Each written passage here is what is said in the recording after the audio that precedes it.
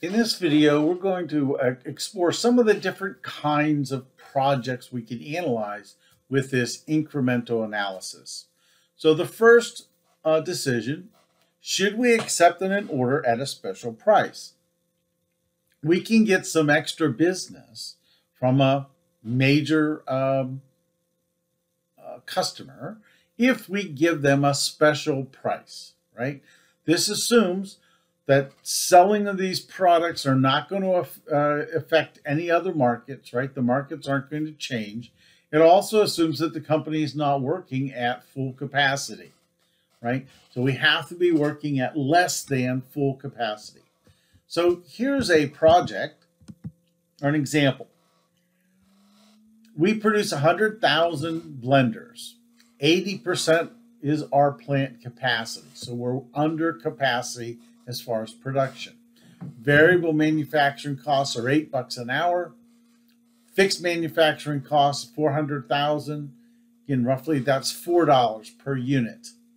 The blenders are normally sold directly to retailers at 20 bucks each.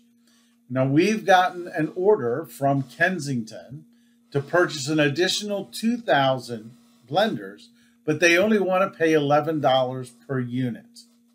This is a pretty substantial dip in the price.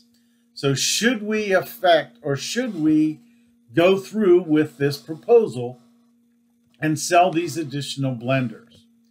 So let's see how this works. Well, if we reject the order, of course, there's no revenues, no costs, no impact on net income. But if we accept the order, revenues will increase by 22,000, costs will go up by 16,000. So this final column here, we have to really look at what it's asking us for. It's asking us for net income increase or decrease.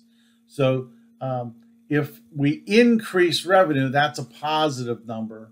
If we're increasing cost, that's a negative number. So again, if you add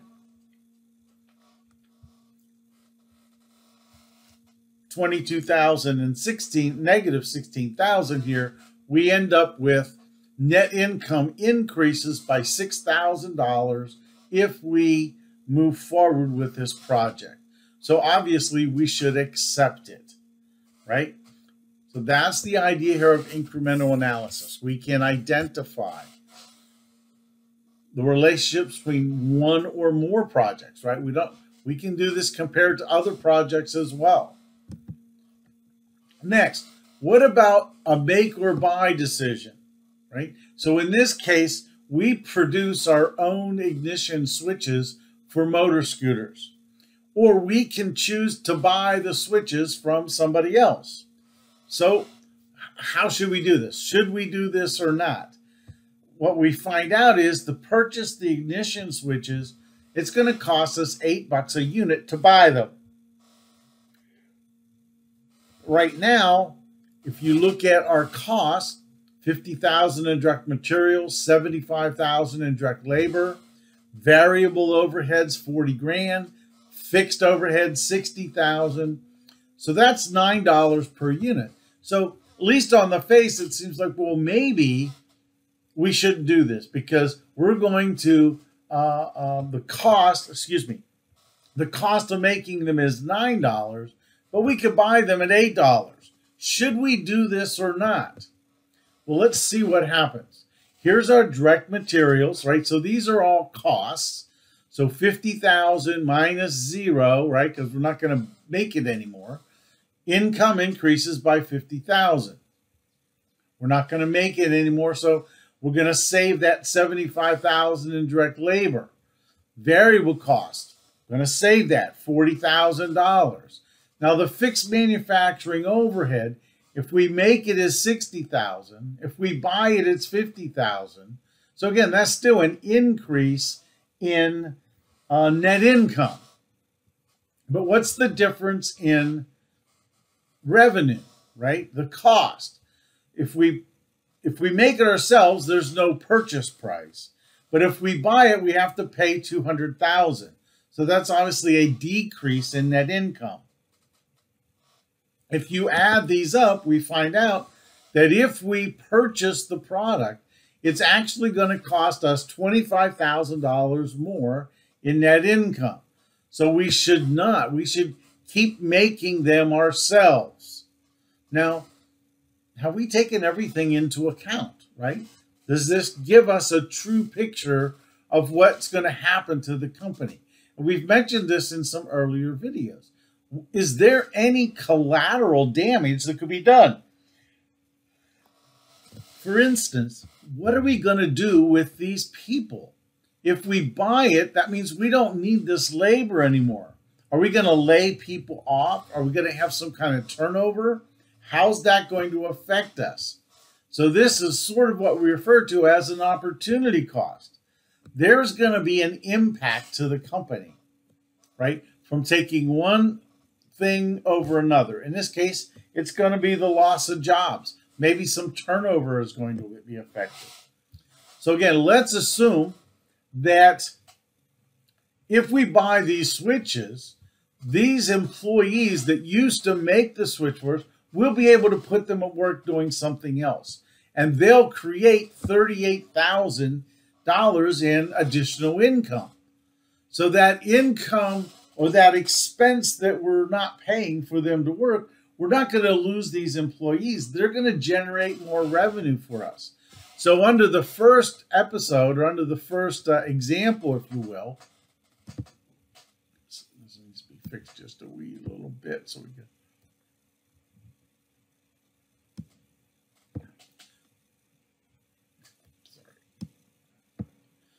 So if you look at this, we have what? Under the first proposal, if you remember, we said it was going to cost us 25,000 more dollars if we purchased if we purchased this these uh, um, items rather than make them ourselves.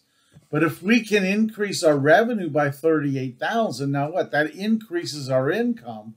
Now, if we can uh, purchase the product, right? I mean, that loses money for us, but we're going to replace that with another project, if you will, an opportunity cost to make more money. We actually can turn this into a positive event. So if we think those two things could occur, the project in general now turns out to be an acceptable project.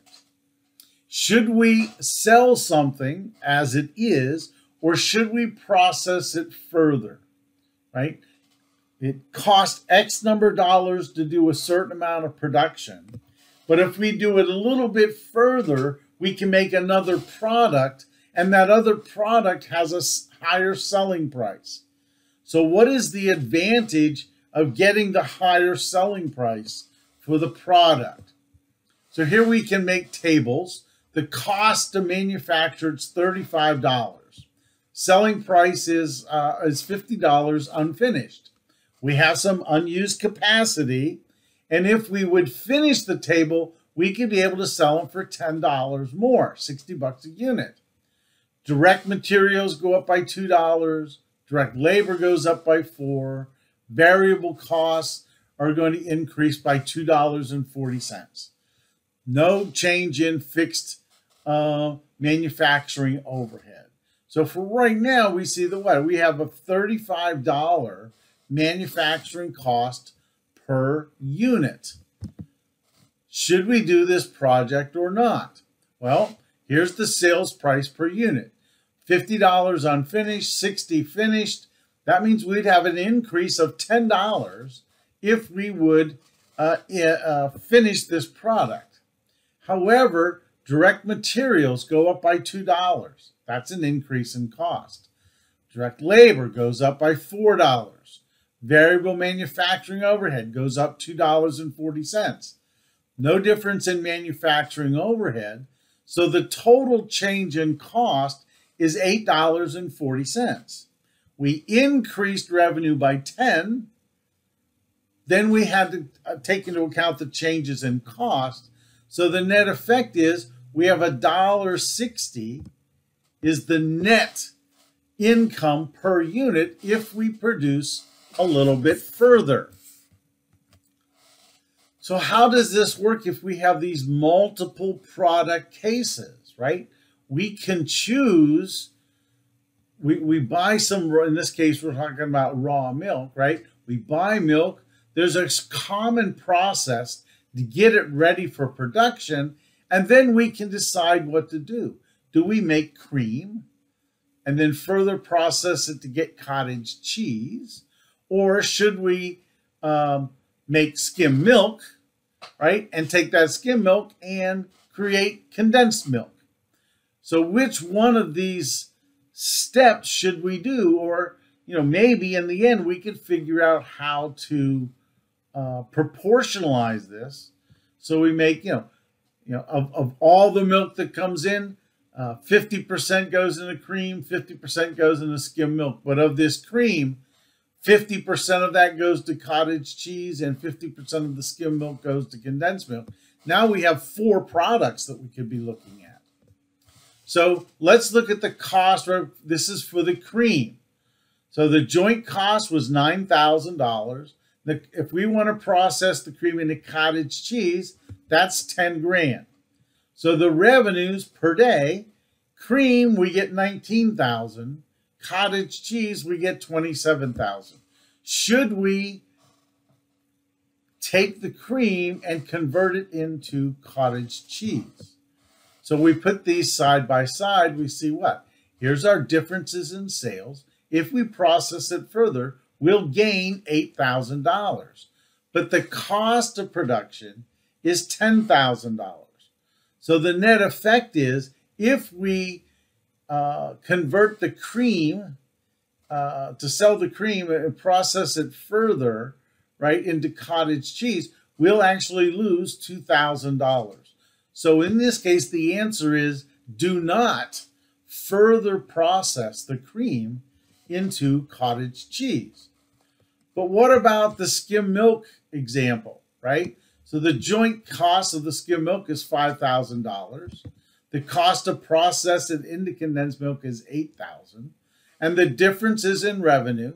Skim milk all by itself is 11,000. The condensed milk we can earn 26,000. And what should we do? Sales per day. We see that there's an increase of 15,000 in sales, there, but there's an increase in cost. That increase in cost is $8,000. So the net effect is or the answer is we should further process the skim milk into um, into the condensed milk because we will gain 7,000 in income from that process.